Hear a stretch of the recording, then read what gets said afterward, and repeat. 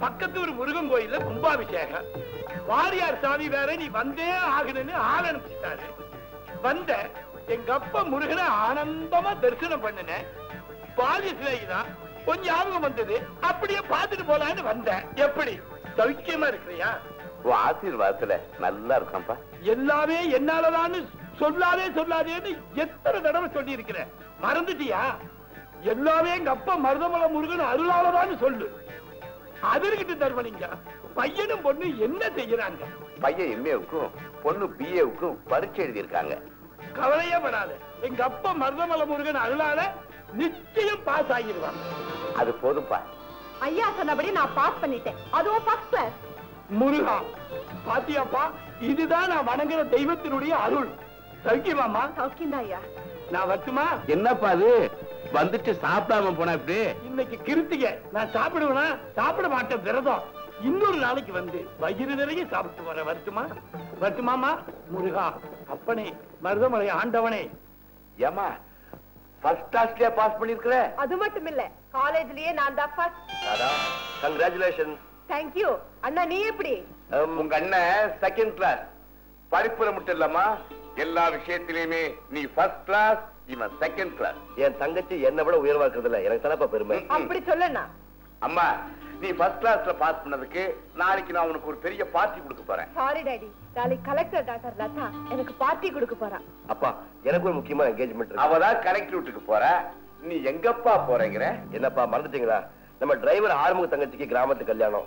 எவ்வளவோ கூப்பிட்டு நீங்க தான் வரமாட்டேன்ட்டீங்க. நானாவது போயிட்டு வர வேண்டாமா? பாத்தியாமா நீ கலெக்டர் வீட்டுக்கு டின்னருக்கு போறேங்கிற. இவன் டிரைவர் வீட்டுக்கு கல்யாணத்துக்கு போறாங்கிறான்.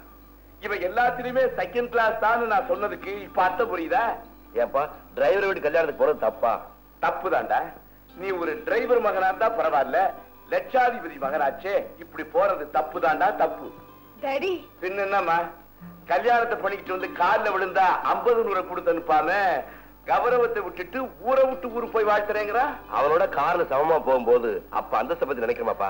இத பாரு நீ டிரைவர் விட்டு கல்யாணத்துக்கு போனாலும் சரி வாட்ச்மேன் விட்டு வளைகாப்புக்கு போனாலும் சரி ஐ டோன்ட் பாதர் இது பாருமா நீ கலெக்டர் வீட்டுக்கு டின்னருக்கு போறப்போ இது யார் பொண்ணுன்னு கேட்கிற மாதிரி ரிச்சா ட்ரெஸ் பண்ணிட்டு போகணும். அதாம்மா எனக்கு கௌரவம். அந்த கௌரவத்தை நீதாம்மா காப்பாத்தணும். இவன் தான் தாமரக்குளம் தங்கமணி.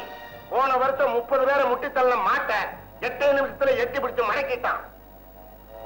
இவன் தான் மாடக்குளம் மாடசாமி. இவன் மண்டைய பார்த்து எத்தனை மாடுகள் மிரண்டிருக்கு தெரியுமா? அது மட்டுமா?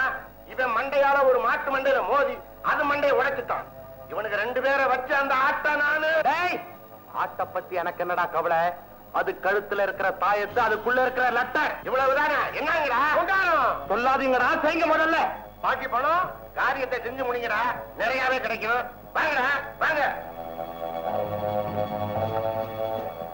அலமேலு அந்த தாயத்து என் கைக்கு வரப்போகுது உன் திமிர் அடங்கத்தான் போகுது. அதுவும் அந்த ஆடுதான். அந்த ஆட்டை அடிச்சு ஆட்டை நீங்க எடுத்துங்க அது கழுத்துல இருக்க லெட்டரை கொண்டாந்து எங்கிட்ட கொடுத்துருங்க. நீங்க போங்க. நாங்க பாத்துக்கிறோம். சரி. வாடா.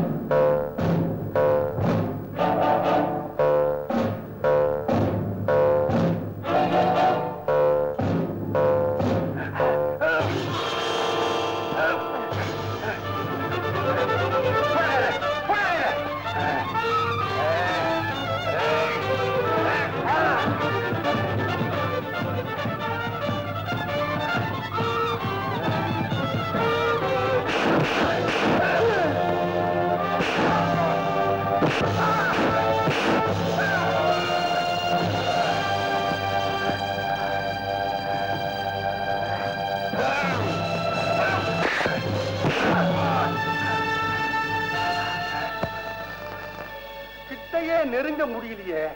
தாயத்தை எப்படி அவுக்கிறது?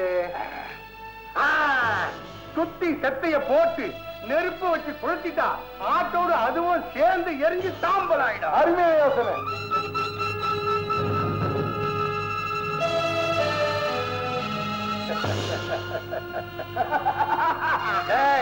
நெருப்பு வச்சுட்டு காவலுக்கு இங்கே இரு. நான் போய் அவனை கூட்ட வந்து காட்டி பணத்தை வாங்கிடுவான். நிறுத்து. இந்த வாயிலா ஜீவன் உயிரை கொடுத்து சொன்னது யாரு? அதுக்காக நீ யாரு? வீடா இருப்ப. வைக்காதே. வீடா?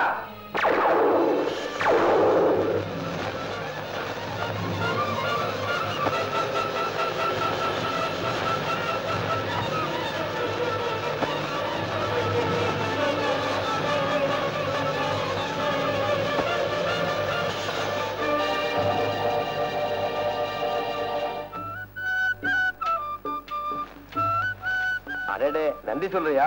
பெரிய புத்திசாலியா இருக்கியே. அந்த நன்றிய இவன் சொல்லு. இவன் தான் எனக்கு கூட்டிட்டு வந்தான். மட்டுமா வரேன்.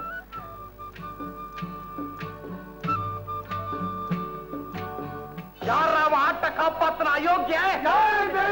மழையா சரி சரி. இந்த விஷயம் வெளியே யாருக்கும் தெரியக்கூடாது. போங்க. சரிங்க. அலமேலே நான் சும்மா விட மாட்டேன்.